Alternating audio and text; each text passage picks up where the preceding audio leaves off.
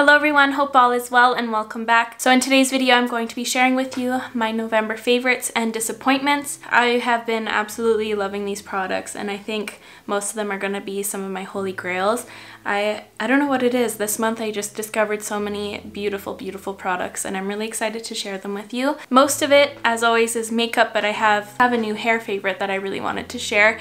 So before we get into the favorites, I would love for you to subscribe if you aren't already. It means so much to me and let's get to it. So my first favorite, and you probably would have guessed it, is of course the new Melt collection. This collection just reignited everything I love about makeup and more. I've never been so inspired by a collection. My favorites in this collection have definitely been the gel liners. These are so amazing to work with. They just go on like butter. They're very, very soft and thin. They're very versatile. You can lay one down as a base for eyeshadow or just wear it alone or use it for a really sharp eyeliner. And what's really amazing is that they dry down super, super matte.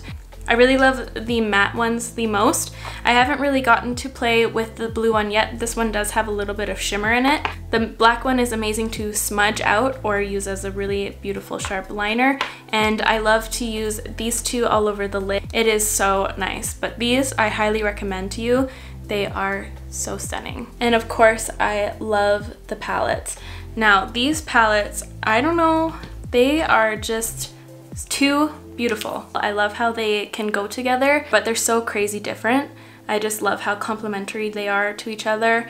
Um, I definitely love this one the most just because it's so, I don't know, just looking at this is so appealing to my eyes. I think just the shades they chose in here are so stunning and it's so cohesive and it just, you can see so much love throughout it. And it's just like, I think this collection is definitely the most beautiful curated collection that I've personally received or anything like that. I just, this collection has been a game changer for me. I love it. And Melt's shadow formulation is just unlike any other. It is. It is so amazing. They're so impactful without ever having any fallout or anything like that. And their shimmers are unlike anything else too. They are so crazy shimmery and so impactful and they just never fade or do anything weird. They're just so reliable and I don't know, this collection is just, I love it too much. Next I have a concealer favorite and this is the Lilah B Virtuous Veil Concealer and I have the shade Be Bright. I have loved this concealer. It is so good it has so much coverage but it doesn't feel heavy and it has such a beautiful finish to the under eye. It gives it like a luminous effect without being slippery feeling and also when your lashes touch it, it doesn't smudge or make any raccoon eyes which is really nice. I don't set this one. It's just like I just apply it with my ring finger and it's an easy fix. And I also like to cover up any problem areas I have with this one. It's just very easy and I've just loved this concealer. And obviously the packaging, the Lilah B packaging just gets me every time. I think it's so fun that it just looks like little skipping stones. It brings me back to when I was little and at the riverbed with my dad and we'd skip rocks. I never, I never could skip a rock. I don't know what it is. I never, I never could do it, but I, I would watch my dad do it. I, I don't know, still to this day, don't know how to skip a rock. Love that concealer. I've used it so many times in my videos and I don't know, it's really, really stunning. Next, I have a highlighter I've been loving so, so much. It's the Nabla, this has a really long name, I can never remember it. It's the Skin Glazing Glass Skin Finish Glow Powder, and I love the shade Amnesia.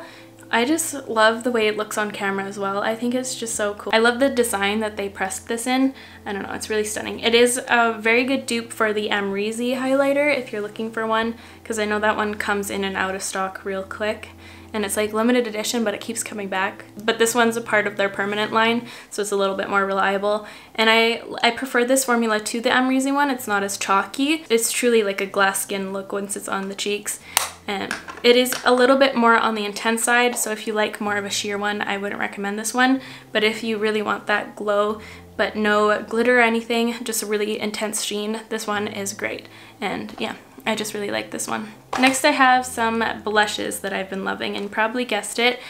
These are the Flower Beauty Blush Bombs. I love these things so, so much and my two favorite shades are Cinnamon and Nectar.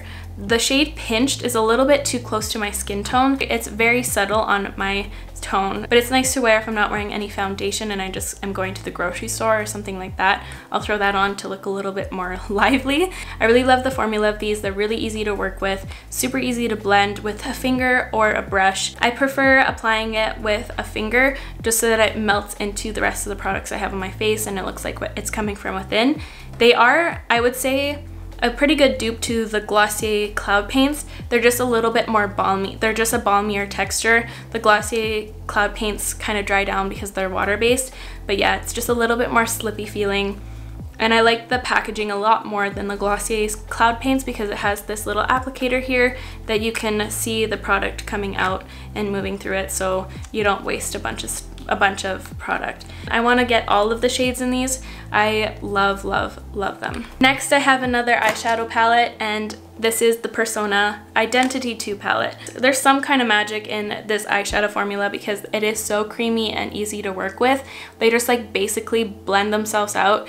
Uh, in this palette, I love the more boring everyday neutrals, but they're so good and I don't know. I just really love the effect of these and the shimmers here, I'll swatch a few of the shimmers. I do have a video using this on the eyes. I used it not too long ago. These, that impact, it's such an impactful formula for shimmers. They don't have glitter in them, they're just like a really intense sheen, so it almost looks glossy on the eyes. Very editorial looking. I highly recommend this eyeshadow formula. It is so beautiful. They killed it. Continuing with Persona, the glosses, oh my goodness. These are my two favorite shades. Peach and Honey. Oh my goodness. Peach is like the perfect nude gloss. It's so reflective and, and Peach is just a nice summery one. It just, this gloss formula is so beautiful. It just, it's not sticky whatsoever. It smoothens out all the lip lines and just makes you look very pouty and plumped and it's just everything I want in a gloss. They both have a little bit of shimmer in there. The formula kind of reminds me of the Fenty Beauty one, but more gel-like and feels more like a water gel. I don't know how to describe it, but I just really love these glosses. I definitely like these more than the Fenty ones now. I don't know what it is about it. I think maybe because the smell isn't as strong. It smells so good. It smells like I can't even put my finger on it. It just smells a little bit more fruity and less scented, which is a plus because I'm very sensitive to scents and if it's right under my nose then I kind of get headaches real quick. And continuing with the lips, I've discovered these ones from Guerlain. My favorite one is 307 Nude Flirt. This has been my everyday go-to nude. This one pretty much always lives in my purse from now on. It's just such a stunning formula. It has a really nice finish to it. Um, it really makes your lips look plump. Here, I'll swatch a few other shades. This is the shade 306, a little bit more pinky peachy. This is 308, which is a little bit more of a pink. And then this one is 309. I believe they have other shades, but I only have these four. And there's 309, which is more of like a cool tone pink. But yeah, this one has been my go-to. It kind of suits every look I wear on an everyday basis and the formula is so nice even with this dry climate right now it is it's been like minus 10 or 15 all week and my lips have been suffering the, the dry lips have been back and I can't stop biting them even with such textured lips and when I put these on, it just like smoothens it all out and makes it look a lot better, a lot more attractive. And my hair favorite, I guess it's kind of a duo, but it's the Oribe, Oribe? Oribe? I don't know how to pronounce this brand. I'm sorry if I butchered it. It's the shampoo and conditioner for moisture and control. This has been my favorite shampoo and conditioner I think I've ever tried. It is so good. It definitely replaced my Olaplex one. The Olaplex, once I had my hair dyed dark brown um, and my hair is just a lot more healthier now. It just was a little bit heavy for my hair. I would get greasy really quickly. The thing I loved the most about the Olaplex one uh, is how hydrated and clean it made my hair feel and it did bubble up a lot. Um, but this does the exact same thing even more like when you're washing your hair with the shampoo it's incredible it feels almost like a conditioner but it foams up so much and it feels like you're getting the best deep clean it's it's an awesome shampoo and conditioner. The conditioner is very, very hydrating. It just makes my hair so shiny as well. And the tiniest bit of this goes such a long way. This stuff is incredible. These both smell so amazing and I'm able to go four to five days without washing my hair with this one. I think that's so much better because it's a lot more healthy for your hair. And yeah, it just, I don't know. I've completely fallen in love with these. And plus the packaging, can we talk about that for a second? It makes me feel like I should be living in a castle in like Ireland or something. Like gold writing in the green and just the logo. It's just so beautiful. I have a special runner up because I think it's being discontinued and it's really, really hard to find. It's the Flower Beauty Bubble Brow. I just wanted to put this in here because if you're out and about and you see it, just grab it. You won't regret it. It is such a good eyebrow wax. Makes your eyebrows look so editorial. I have it on my brows today. This has been by far one of my favorite brow products I've ever tried, which I'm really, really sad that she's discontinuing it. If you're Canadian, they still have it on well.ca, just the darker color like this one. Uh, I don't know why she would discontinue such an amazing innovative product, especially with the movement of really softened makeup and really harsh brows. I don't know why. Maybe she's reformulating. We can have our fingers crossed. I really hope to see it come back. I've had a lot of DMs saying that they found it at Ulta and there's only like five left. I would definitely check out your local Ulta if you are from the States. And that is all my favorites of the month and I have two disappointments. So the first one is from Flower Beauty and it's the Beauty Flash Full Face Palette.